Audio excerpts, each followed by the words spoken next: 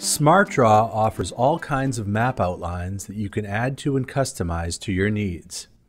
You can use maps in presentations, educational materials, sales and marketing, public health, logistics management, and so much more. Click on Maps from the list of popular visuals and choose a map to start from.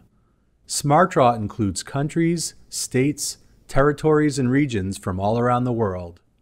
Use the Text tool to label the map with key information. Add pins, arrows, compasses, and other symbols to further explain your map.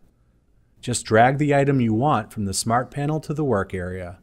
It's easy to resize and adjust these symbols using these black control handles and the rotation control.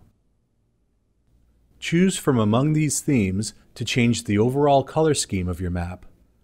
Or select an area and choose from among the fill colors to change just that region. Or match several regions by color to indicate things like distribution territories or electoral areas. Click on More here in the Smart panel to add more libraries with things like world flags, weather symbols, recreation signs, and map legends. Easily match the legend contents with the regions of your map. Just select the region, click on Format Painter here in the ribbon, and then click on the symbol you want to match it with in the legend. You can do all of this on the desktop or entirely online using SmartDraw Cloud, and they interact seamlessly. On the desktop, you can send your visual directly to email or any of these Office programs with just a click.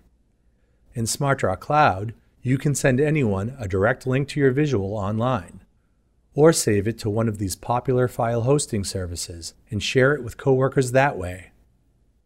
It's that easy to customize and share great looking maps using SmartDraw.